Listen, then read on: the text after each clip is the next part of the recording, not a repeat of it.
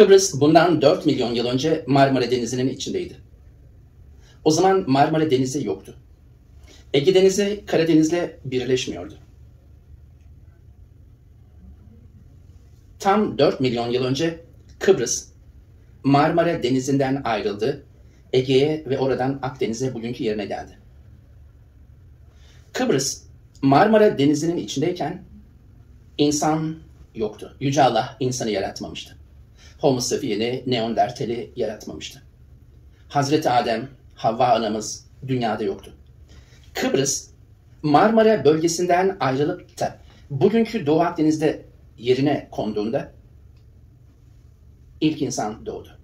Değerli dostlarımız, ilk insanın Afrika'da Victoria Gölü'nden Nil Havzası'nı izleyerek kuzeye çıktı, oradan dünyaya yayıldı zannediliyor. Yanlış. İlk insan Marmara bölgesinden çıktı ve Kıbrıs'tan bütün dünyaya yayıldı.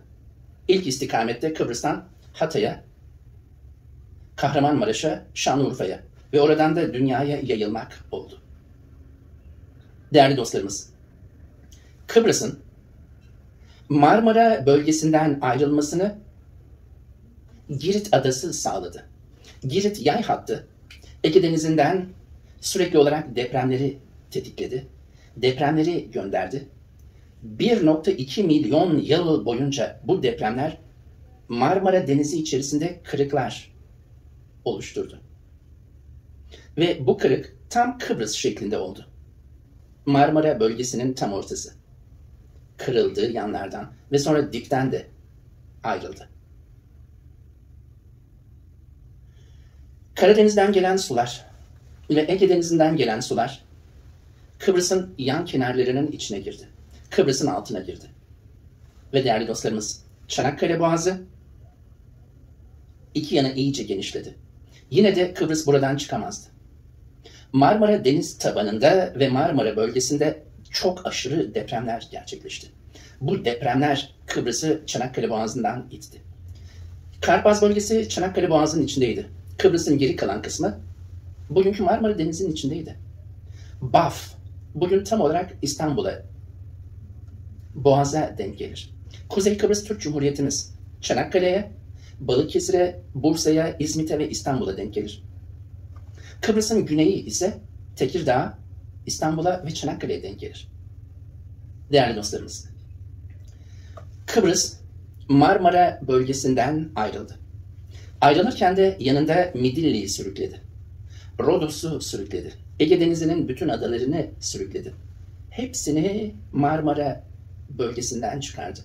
Midilli'yi hemen Çanakkale'nin altına bıraktı. Rodos'u Muğla yakınlarına bıraktı. Diğer adaları Ege Denizi'nin içine bıraktı. Ve kendisi için tamamen bomboş bırakılmış Doğu Akdeniz'e gitti, yerleşti. Hani siz doğacak olan bebeğinizi 9 ay beklerseniz de ona bir yatak odası, ona boş bir beşik hazırlarsınız ya. Yüce Allah da bundan 4 milyon yıl önce Kıbrıs'a bir oda hazırladı. O yüzden Doğu Akdeniz'de Girit'ten itibaren Kıbrıs dışında hiçbir ada yok. Orası Allah tarafından Kıbrıs'a ayarlanmış bir odaydı. Veya bir beşik. Değerli dostlarımız. Ege Denizi'ndeki adalar bebeğin anne rahminden çıktıktan sonra kordonundan dökülen kan damlacıklarıdır. Pıhtılaşır ve onlar Ege Denizi'nin adalarına dönüşür. Midilli Adası anne rahmindeki plasentadır. Bebeğin beslendiği yer. Ve bugün bakın Midilli'ye bir heybeye benzer. Heybede ne var? Besin maddeleri var. Kıbrıs'ın Marmara'dan çıkışı sadece bir jeolojik olay değil, aynı zamanda bir biyolojik olaydır. Annelerin rahimlerinden bebek çıkarmaları, hayvanların dişilerinin rahimlerinden bebek çıkarmalarıdır. Kıbrıs'ın Marmara bölgesinden çıkışı sadece jeolojik ve biyolojik bir olgu değil, aynı zamanda dini bir olgudur. Nuh tufanıdır. Nuh'un gemisi değerli dostlarımız Marmara bölgesinden çıktı. Nuh'un gemisi Kıbrıs adasının ta kendisi. Ancak Kıbrıs adası büyüklüğünde bir gemi bütün hayvan türlerinden birer çift barındırabilir. ve o hayvanlara günlerce yetecek gıda ve doğal ortam ancak Kıbrıs büyüklüğünde bir ada ile gerçekleşir. Her tohum cinsinden birer numune, her toprak türünden numune, ancak ve ancak Kıbrıs büyüklüğünde bir gemiye ihtiyaç duyar. Nuh'un tufanı, Nuh'un gemisi, Kıbrıs adasının Marmara bölgesinden çıkışıdır. Marmara'dan Kıbrıs'ın çıkışı kolay olmadı. İnanılmaz zor oldu. Tsunamiler gerekti, depremler gerekti. Nuh'un gemisi de aynı şekilde dışarı çıktı. Anne rahminde 9 ay kalan bebek. O da inanılmaz fırtınalarla, tsunamilerle, depremlerle ortaya çıkar. Gidin sorun bebeğe. Ya da bebeğin halini siz anlayın. Siz de bir zamanlar annenizin rahminden çıktınız. Ne kabusta o çıkış. Geminiz suyun altına girdi, suyun üstüne çıktı, gece ve gündüz mü belli değildi. Depremler oldu. Neydi bu depremler? Anne rahimleri kasıldı. Rahim içindeki uterus sıvısı çalkalandı, dalgalandı. Ve siz dışarı atıldınız. Dışarı çıktınız. Değerli dostlarımız, Kıbrıs'ın Marmara bölgesinden çıkışı ilk insanın anne rahminden doğumudur. Ve kız bebekler Güney Kıbrıs'ta yaşarlar, erkek bebekler Kuzey Kıbrıs Türk Cumhuriyeti'nde yaşarlar. Eşcinsellerde tam bu iki bölgeyi ayıran orta çizgide yaşarlar değerli dostlarımız. Burası da Marmara Denizi'nde Bursa Tekirdağ çizgisine denk gelir. Bursa Tekirdağ çizgisinin güneyinde olan kısım Kuzey Kıbrıs Türk Cumhuriyeti'ni, Bursa Tekirdağ çizgisinin kuzeyinde olan kısım Kıbrıs'ın güneyini barındırır, temsil eder. Değerli dostlarımız. Peki Kıbrıs nasıl oldu da Marmara'da oluştu? Kıbrıs'ın anası ne? Kıbrıs'ın babası ne? Kıbrıs'ın anası Anadolu, Türkiye'miz. Kıbrıs'ın babası Girit Adası. Anadolu ve Girit Adası karı kocadır. Marmara bölgesi Anadolu'nun rahmidir. Girit Adası Minos Boğazı efsanesiyle bunu kanıtlar. Labirentin içinde ve Girit Adası'nın altında Minos Boğazı'nın yavrusu Minotaur olur. Girit erkektir. Girit'in üzerinde dolaşan boğa erkeklik enerjisidir. Girit adasının altındaki labirentte yaşayan boğa yavrusu testislerdeki sperm üretim gücüdür. 72 günde bir dışarı çıkar o boğa yavrusu. Girit'in Ege kıyılarına bakan sahillerine ayaklarını vurur. 300 milyon tane Truva atı çıkar. Truva atları Ege boyunca Çanakkale'ye gelir. Çanakkale onlara geçit vermez. Sadece 52 tanenin Marmara Denizi'ne geçişine izin verilir. O 52 tanenin en zeki ve çevik olanı Kız Kulesi'nde olgunlaşmış olan anne yumurtasının içine girer. Ve böylelikle anne rahminde ilk döllenme gerçekleşir. Anne rahminde döllenen yumurta bir ay boyunca rahim duvarındadır değerli dostlar. Bir aydan sonra rahim duvarından ayrılıp rahim içi sıvısında serbest dolaşmaya başlar. Siz bugün İstanbul Boğazı'na, İstanbul'a haritaya bakın. Rahim duvarına yapışmış anne rahmindeki bir aylık bebeğin ultrason görüntüsünü göreceksiniz. Alnı Beylikdüzü, gözü küçük çekmece, burnu Bakırköy, ağzı Zeytinburnu, çenesi Sarayburnu, boğazı İstanbul Boğazı, göğsü Üsküdar, Kadıköy, Kartal, göbeği Gebze ve göbek ucu Tuzla. Çünkü göbek bağı kesilince Tuzla nacaktır. Ve bebeğin iman tahtası Sedef Adası, Büyükada, Kınalıada, Burgazada, Heybeliada'dır.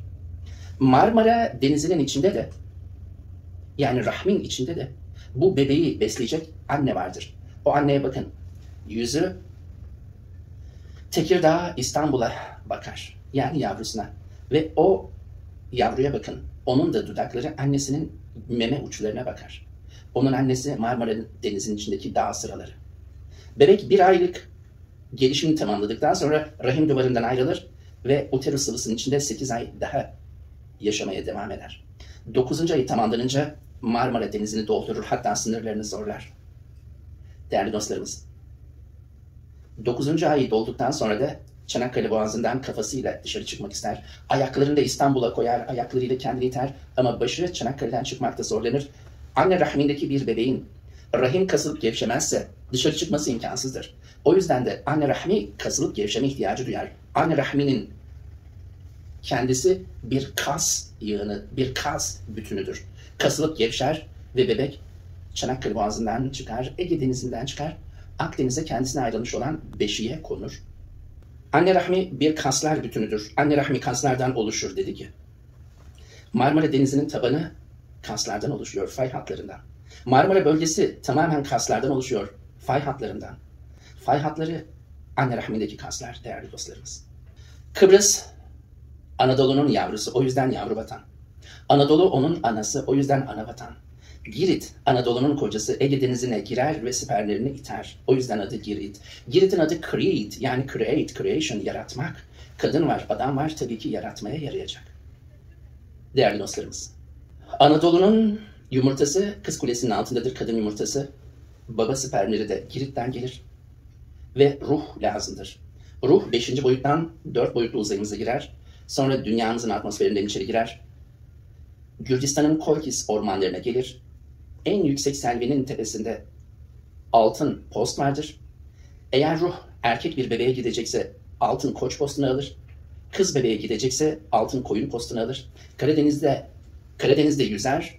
İstanbul Boğazı'ndan geçer. Kız Kulesi'nin dibinde tam 52 gün bekler. Ruhlarımız sperm yumurtanın içine girmeden 52 gün önce gelirler. Ve anne rahminde beklerler.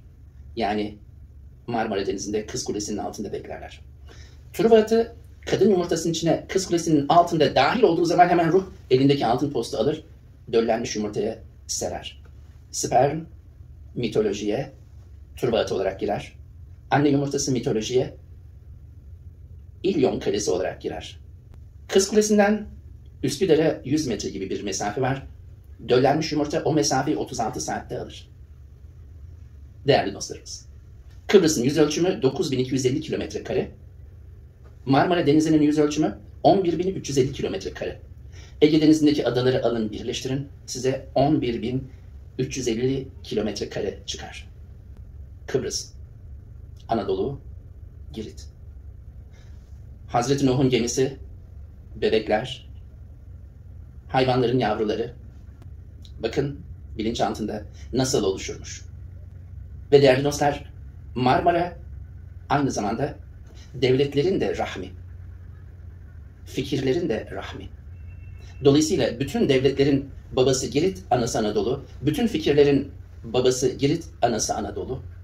Devletler 9 yılda Marmara bölgesinde rahim süreçlerini tamamlar. İlyada destanında Truva Savaşı 9 yıl devam eder, 10. yıl savaş biter.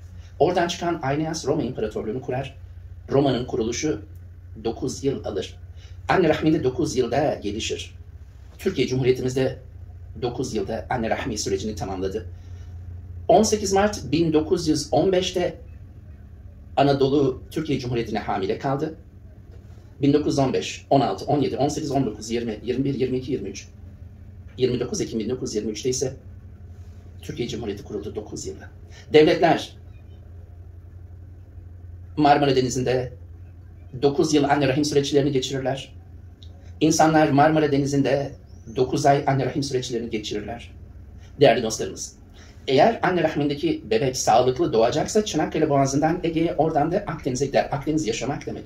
Ege Denizi vajina demek. Çanakkale Boğazı rahim ağzı demek. Marmara Denizi rahim demek. Peki ya İstanbul Boğazı ve Kilyos?